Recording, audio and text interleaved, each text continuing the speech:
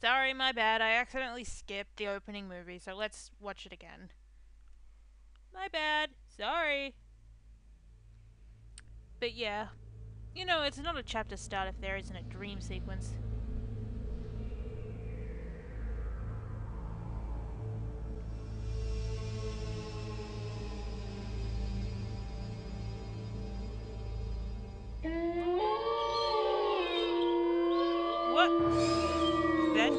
Did not sound like wolves at all. sounds like someone with a horn and... Oh god, this is hurting my ears!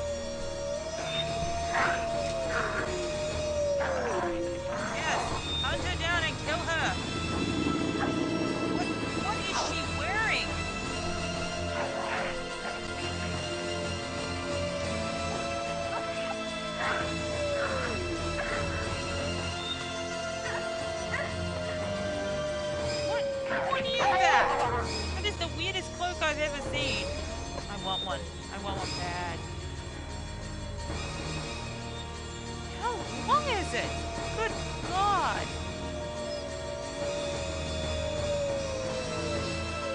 Yeah, I know, Grace. That the noise is hurting me as well.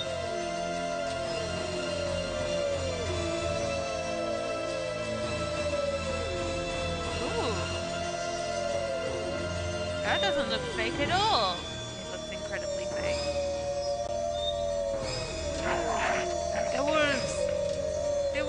Coming. Please help me, sir.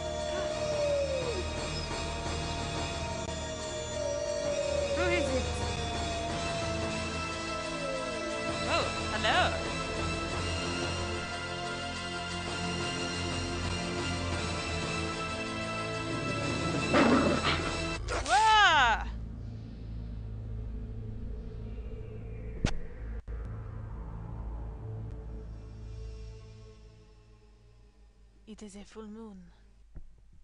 Alright, so now that that's done. Whoa, sorry. Uh, time to go to the library. Should read up about Ludwig. Which, no doubt, that was in our dream. Ludwig. Duh. What books can you find today? I wish I could read these biographies of Ludwig. Look Wait at a that, that one minute. that's in English right there. Ludwig II, fairy tale king of Bavaria. I didn't see this before. Yep, English. I love English. You both really gotta learn your German. There's nothing else on werewolves in. Whatever. I'm not sure what other case books would. Whatever. Nothing else I can. Fine. Good lord. Where'd that book go? Here it is. Hmm. Sir Richmond Chaphill. Ludwig remained throughout his life both very bright and very naive. Hmm. He was an introvert who seemed to be constantly out of sync with traditional views of rulership, money, and human relationships. The world ever failed to match his ideals. Aw. Perhaps this was a fault of his sheltered upbringing as future king. He never was introduced to the real world, and the real world failed to interest him as an adult. In his youth, Ludwig was in fine physical condition and loved to hike alone in the Alps and ride horses. He had a hunting lodge, Schachen, specifically for this purpose. Unfortunately, in 1872, a rather traumatic hunting accident befell the king at Schachen, and his leg was cruelly damaged. He never fully recovered from this incident, and his hiking and riding ceased. His physical health deteriorated from that time on, and explains why he looked so unhealthy in later years. A hunting accident? Werewolf. Other than his long-standing friendship with the Empress Elizabeth of Austria and with his mother, the relationships Ludwig attempted with others were nearly always a disappointment for him and a bewilderment for his partners. He would become obsessed with someone, a singer, an artist, a nobleman or a peasant, and would bombard them with gifts, praise, and favors. When they would fail to return the depths of rapturous passion he required, the singular adoration and humble obedience he expected, he would grow disappointed and cut himself off from them. The objects of his interest were occasionally women, usually ones he fell in love with after seeing them in idealized roles on the stage, but they were more often young men who fit his fantasies of the heroic sagas like Lohengrin and Parsifal that he so loved. Interesting. A good example of the king's obsessive behavior in relationships is the following letter from the Königlich Bayerische Archives, which this author was privileged to access. It is dated 1864, and it was written by Ludwig's manservant, Paul, to a friend. The king has been in high mood these days. The reason, of course, is a new interest. Thursday last, the king attended a performance of Lohengrin in the Wittelsbacher Theater. He came back in a fever, demanding that a man be found. The man, it was gathered, had been sitting in a box across from Ludwig and had drawn the king's attention by his beauty and his deep emotional response to the performance. The king declared that here at last is a sensitive soul. The man was tracked down and brought in for an audience. Upon my word, never have I seen any mind so in line with His Majesty's own. They discussed Wagner and France and Byron and all manner of things until long past dawn. The young man, beautiful indeed to look upon, met the king's enthusiasm and knowledge bit for bit. Hmm. His Majesty has been in the thick of it ever since, and while I welcome his good temper, I grow tired of fetching letters back and forth to Louis, so called by His Majesty, that should tell you who the young man looks like, at all hours of the night. This author has not been able to learn much about Louis, but he was known to have been a seemingly high-bred foreigner, and he was involved with Ludwig as late as 1880 when he fell into disfavor. Because he made him into a werewolf. I don't know, probably, maybe. Yes. The king, especially later in life, felt a great deal of guilt about his sensual nature.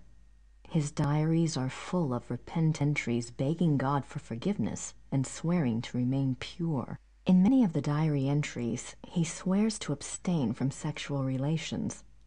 The number of these oath entries indicate that Ludwig was not very successful in oh. resisting temptation, yet it is also clear that Ludwig was a God-fearing man and that, though his flesh might occasionally fall, he never surrendered his heart and his conscience to sin. Oh. Alright, so now we've read that. Let's go downstairs.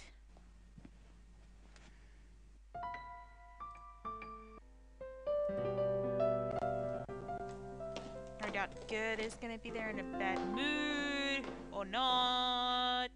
She's not. So let's go to the village. And we're gonna go get ourselves another letter that breaks the time stream because, uh. Because, well, quite frankly, she's gonna receive a letter that Gabriel sends later today. Unless, of course, we are thinking that perhaps this is the next day, and the next next time that we see Gabriel will be the same day that this is. If that makes any sense.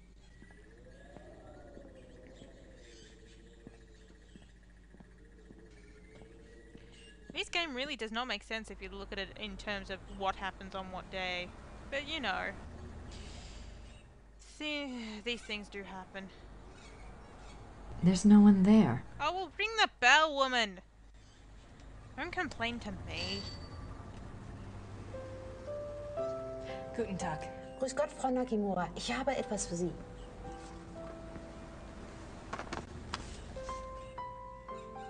Oh, it's from Gabriel. Ja, das ist vom Schattenjäger. Ja.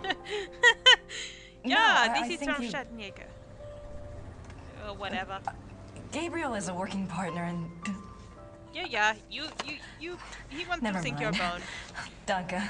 Bitte, brauchen Sie noch etwas? I do not speak English. I have no idea what you just blabbered on about. Danke. Bitte.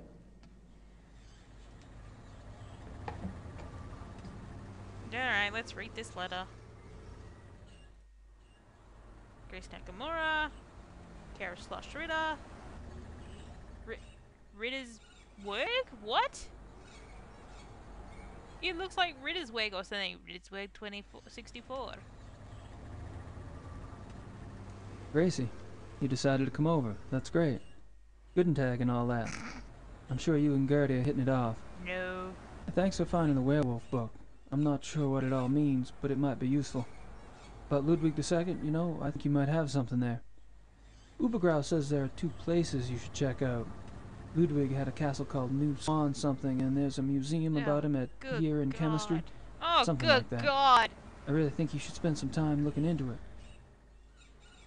Gabriel, you should at least learn how, what these words are. Good God. Don't worry. Things are going very smoothly this time around. I've tracked a suspect to a hunt club run by a man named Von Glower. He seems okay, but I'm sure there's something going on with at least one of the others. Don't worry, though. I met a police detective named Leber, so I have backup. He doesn't like you. soon. Sit tight and enjoy your visit till I get there. He doesn't Good. like you.